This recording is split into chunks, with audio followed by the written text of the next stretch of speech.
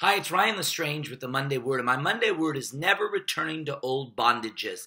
This is really a prophetic alert. I want to open your eyes to one of the strategies of hell. I was visited over the night season with a series of prophetic dreams. I'm going to be sharing more about these dreams and the warning of the Lord on my various platforms, but I want to give you some tidbits here because in one of the dreams I had, the Lord began to reveal to me the onslaught, the attacks of old bondages rising in the lives of people, old strategies being released and hurled at people in, in what seems like a fresh way. And I believe there's a real trap of the enemy right now that is being sent out in this season of time to try to discourage, to try to overwhelm, and to try to distract. And the Lord said to me to tell his people, you've got to stay alert in the spirit.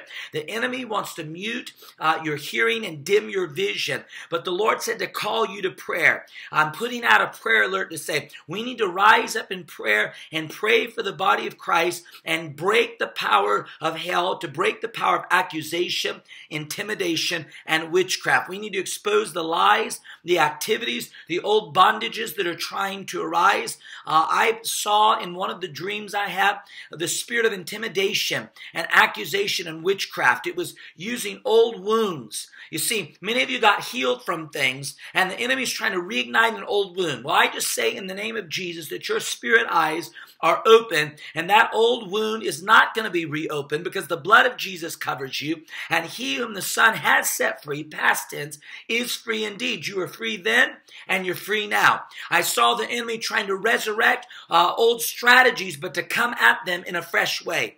I, I, I was uh, in this dream. Uh, I began to see the enemy throwing mud at people. They were trying to advance. They were trying to move forward, and they had mud on their clothes. And mud, one of the representations of mud, is accusation. The enemy is trying to accuse people and shred their identity. He's trying to distract people and get them away from their identity. And this spirit was persistent in my dream. It kept pounding and pounding. It was mocking. It was releasing confusion confusion. The more this thing talked, the more mistakes that were made in this dream that I had. It's like uh, the clarity of thought was eradicated, and, and people were operating in a fog. Uh, and also in this dream, there was a section that I was waiting for a ride to my next assignment to preach, and the ride was delayed. And the, the Lord spoke to me and said this witchcraft, this confusion, this spirit tries to delay and abort assignments. Many people right now are under a barrage of accusation.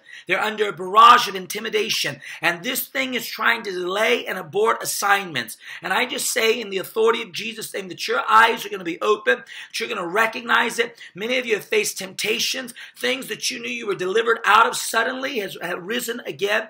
Some wounds that you knew God healed you from, suddenly the enemies uh, tried to resurrect those again. I really saw old things being brought about demonically in a fresh way. And the enemy is trying to twist some old wounds, some old bondages, some old portals, and reopen them. And this is what the Lord told me. He said, Call the intercessors to pray, call the people of God to pray. The body of Christ is in a time, in a season that the enemy is trying to release confusion, intimidation, accusation. Now, understand this. I know the enemy is always trying to do these things, okay? The Bible said there's nothing new under the sun. But I really had an urgency through this series of dreams uh, that, that this enemy was on the, uh, on the advance right now in this season and trying to shred people's identity. And the Lord gave me a couple of scriptures I want to share with you. Ephesians 6 18 said, with all prayer and all petition, pray at all times in the Spirit. With this in view, be on alert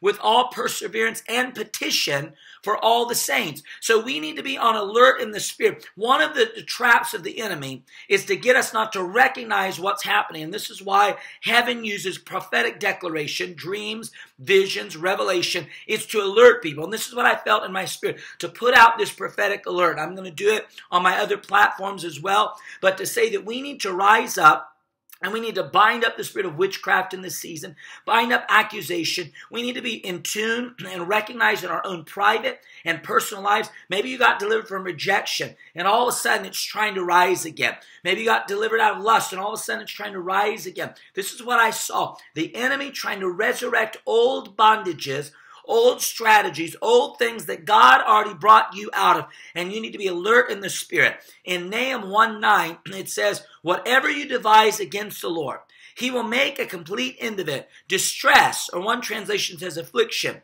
will not rise up twice. And this is a key scripture, a strategic scripture that we need to prophesy and declare that this affliction, this distress, this bondage has no permission to rise again in our lives in Jesus' name. Father, I thank you for my friends. Lord, I call the intercessors.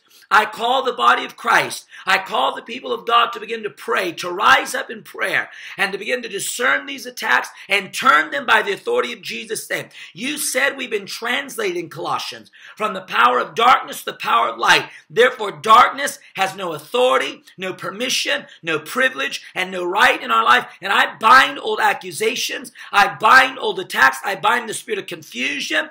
I bind the spirit of intimidation. I bind the spirit of witchcraft. And I claim freedom in Jesus' name.